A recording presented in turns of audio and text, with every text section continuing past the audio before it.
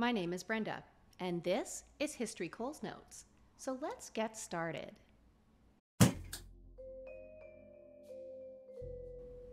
History tells of a time called the Great Depression that was a worldwide economic depression that lasted 10 years.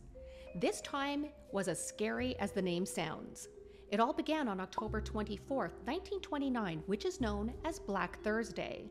This was the first day of the stock market crash that started in 1929 and was the worst crash in US history, which started the Depression. Now, even before the New York Stock Exchange opened that day, investors were panicked. The stock market had already dropped 21% since its record breaking low closing on September 3, 1929. Then on October 3rd, the Washington Post put out the headlines of Stock Prices Crash in Fanatic Selling. The following day, the New York Times jumped on this bandwagon by warning in their headlines Year's worst break hits stock market. By October 23rd, which was the day before Black Thursday, the Dow Jones Industrial Average dropped 4.6%, and when they opened the next day, the Dow Jones fell another 11% during the day, and trading volume was about three times the normal amount. Now, this is where the banks decided to make their move. They started buying up stocks to try to restore the public's confidence in the markets, and for a time it seemed to be working. The Dow recovered slightly, and by Friday it actually closed slightly higher. But by Monday, which is now called Black Monday, it fell again, which triggered a market panic on what is now called Black Tuesday. After this occurred, the Dow just continued sliding downhill for three more years until it bottomed out on July 8, 1932, losing almost 90% of its value since September of 1929. Losses from this crash helped create the Great Depression. But why did this happen? During the 1920s, investing in the stock market had become a national pastime. From 1922 to right before the crash, the stock market increased its value by 219%. Those who didn't have spare cash to invest would borrow it from their stockbrokers on margin, meaning they had to only put down about 10 to 20%. By the summer of 1929, about 300 million shares were purchased this way. Then the banks started investing their depositors' savings without telling them, and those investments, well, they weren't that great. In fact, the bank's misuse of funds became a hallmark of the Great Depression. Banks did not have enough money to honor their patrons' withdrawals, and so Congress had to create what was called the Federal Deposit Insurance Corporation to guarantee the bank's savings as part of what was called the New Deal. So, what was this deal? It was an economic policy that Franklin D. Roosevelt launched to end the Great Depression. Its goal was to slow that downward spiral their next goal was relief and recovery, also reform, for those who were the hardest hit. So, what do I mean by the hardest hit? The effects of the stock market's bubble bursting rippled through society. At its height in 1933, unemployment raised from 3% to 25% of the entire workforce. Wages for those who were still able to have a job plummeted the United States gross domestic product went from $103 billion to $55 billion due to deflation, which is when assets and consumer prices fall over time. So the United States politicians, they started to panic. So what did they do? They made things worse. In 1930, they decided to put into place the Smoot-Hawley Act, which was a tariff act that increased import tariffs by an average of 40 to 50 percent it raised the already high tariffs on foreign agricultural imports in hopes to support U.S. farmers. All it resulted in was high food prices, and then the other countries got mad and retaliated with their own tariffs. This forced global trade to drop by 65%. So now, what started in the US started to bleed out around the world, and it helped lead us into World War II.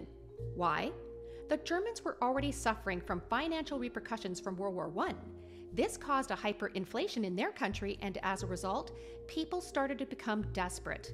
Because of this, people started to believe the words that came out of an evil man's mouth who gave them somebody to blame. They became desperate enough to elect that man and the Nazi Party into power in 1933. So now that we know what caused it and how it spread, what was life like during the Depression? Well, absolutely horrible comes to mind.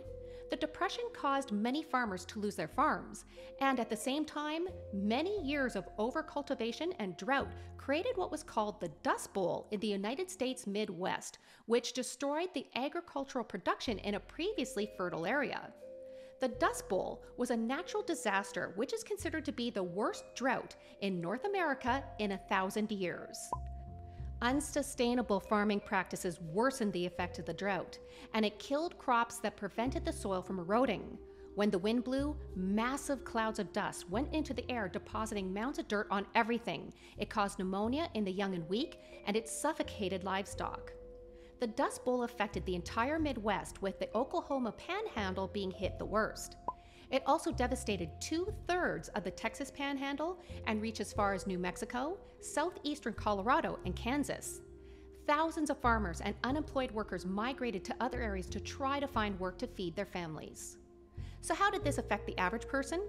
Well, three years after the original crash, nearly 30 million Americans lost their source of income. Those lucky enough to have work, they took massive pay cuts or they worked reduced work schedules. The crisis didn't just affect the rural areas, but it devastated the urban regions too. It damaged all classes, but the pain was not equally distributed. The impact varied according to your industry, class, race, location, and at times sheer luck.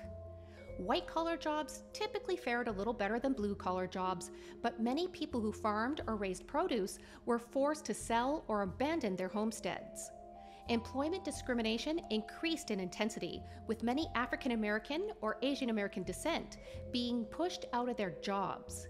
With no unemployment benefits being available, many families they also had one breadwinner. This all led to mass homelessness and hunger.